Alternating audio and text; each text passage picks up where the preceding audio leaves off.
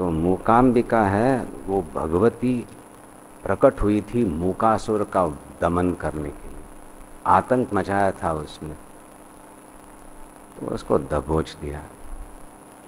अब मूक असुर, मूक कहते ही जो बोल नहीं पाता। तो बच्चों में भी हम देखते हैं, बुद्धिमान है, पर वो बोल नहीं, बोली नहीं आई है, बोल नहीं सकता। तो बहुत गुस्सा रहता है उसमें। अपनी भावनाओं को, अपने विचार को जो प्रकट नहीं कर सकता, वो बच्चा बहुत वायलेंट हो जाता है है ना?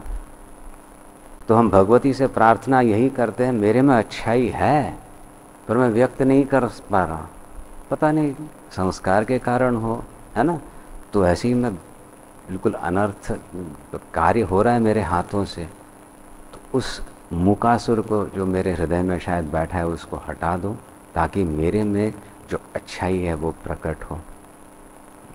इसीलिए वहाँ पे गए, दर्शन किया। आज तो वहाँ तो कुछ कार्यक्रम चल रहा था, सुना, सरस्वती मंडप में तो अंदर नहीं जा पाए, कोई बात नहीं। वहाँ पे उस, उसी प्रांत में, वहीं पे उसके पास ही आपने भजन किया, व्यक्त किया, अपनी भक्ति, संस्कार जो प्राप्त हुए हैं, जो गुरु ने दिए हुए हैं, उसको लेके आपने फिर से भजन प्रस्तुत किया। बस उसी से वो संतुष्ट होती हैं। तो हम अपने जीवन में यही चाहते हैं, शिव शक्ति का सामरस्य। पर जैसे आपको बताया, शायद वहाँ पे भी बताया, मूल तो वहाँ पे एक शिवलिंग है और शिवलिंग के बीच में एक स्वर्ण की रेखा है।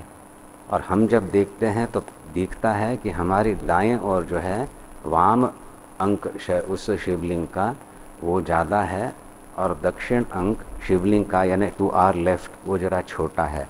Because the bisection is not absolute half शक्ति प्रधान है वो पीठ है और भगवती का एक विग्रह है मुख है ताकि भक्त जो आए वो देख के हाँ भगवती की आराधना कर पाए और उसके नीचे दिखता तो नहीं है वैसे उसकी प्रभावली मात्र दिखती है वहाँ पे श्री यंत्र है क्योंकि भगवती उग्र थी मोकासुर का शमन करना कोई छोटी बात नहीं और हम जाते हैं तो वो, हमें तो उसका वात्सल्य चाहिए।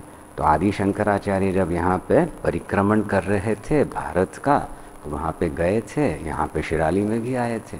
तो वहाँ पे श्रीयंत्र की प्रतिष्ठा करके भगवती को सौम्य किया है। इसीलिए हम हमेशा प्रार्थना करते हैं, मेरे में जो अच्छाई हुआ है, उसे बढ़ाना और उस अच्छाई को मैं प्रकट कर पाऊँ। क्योंकि केवल जानने मात्र से भगवती भी संतुष्ट नहीं होती है। मैं इतना दे रही हूँ तो उसको व्यक्त क्यों नहीं करते?